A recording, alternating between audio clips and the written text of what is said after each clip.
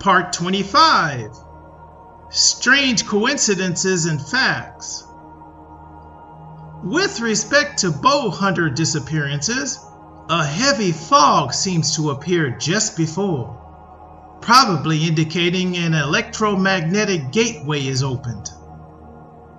Also, orbs of light are commonly associated with Bigfoot or Dogman encounters, In Rochester, New York is known for UFOs.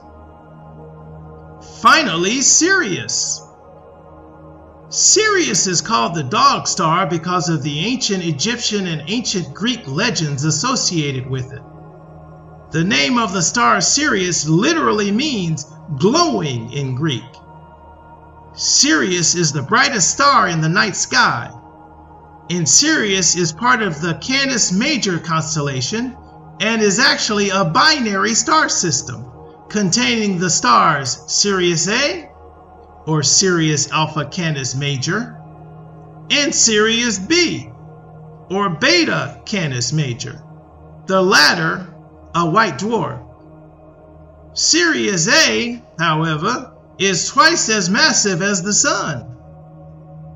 However, I surmise it could also reference the dogman's propensity to have glowing eyes in the darkness, much like Sirius glows the brightest in the night sky.